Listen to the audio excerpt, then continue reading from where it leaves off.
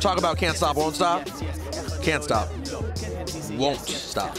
He's someone you remember the the first time you meet him. You know what I mean? I don't I don't know anyone who doesn't remember Kosha Dillz. Aside from that catchy name, Kosha Dillz. I don't know if you know it's a play because he's Jewish. Kosher? Kosher sauces, frankfurters? oh, like Modest Yahoo. I'm like, no, it's it's different. Kosha Dillz! Oh my God! My homeboy, man, you already know. Lauren David Power.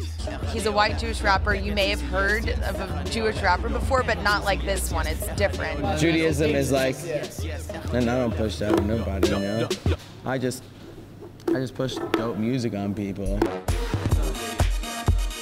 Like he's talented, he's really good, but he's so um, dedicated to it.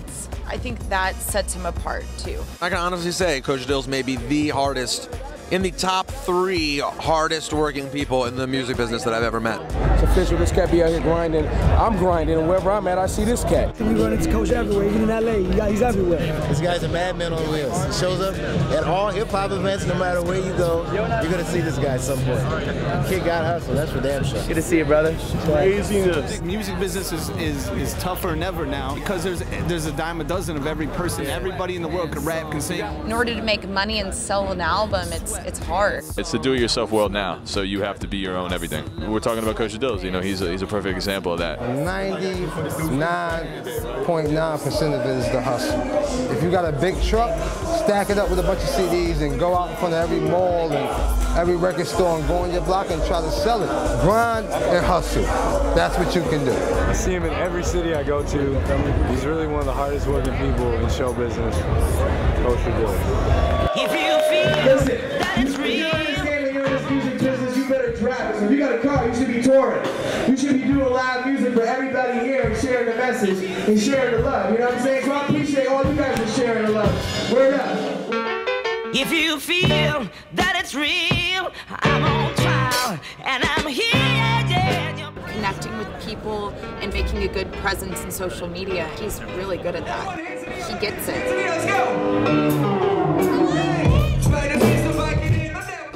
Fucking run up on people and freestyle for them and get everyone to take videos and shit and hustle. There's mad motherfuckers that's talented as shit but don't want to do nothing for themselves. Coach should get up and do it for himself. Like if I could get like a hundred people to tweet out my shit tomorrow by just talking to a hundred people. Freestyle rap a lot. I'm gonna be rapping for everyone's website. I'm rapping for everybody tonight. Everyone give me their card and I'll plug their business. Here we go. Here we go. Rapper, what do you want?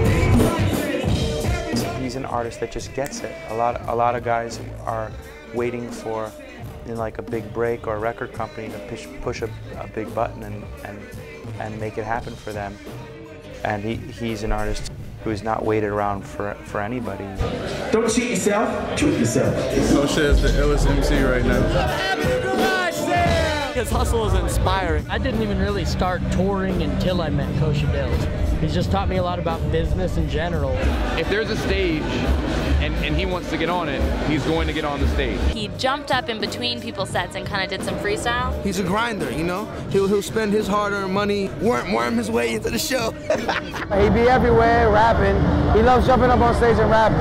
He's got a lot of heart. Whirlwind storm, Kosha Dillz. The way that he just hustles constantly, I, it's got to get him somewhere. Who the heck is that guy? Yamaka to the side, fly limp, lean, bum rush. Every show with no team. More merch, the headliners get more cream. Wake up and my mom says, What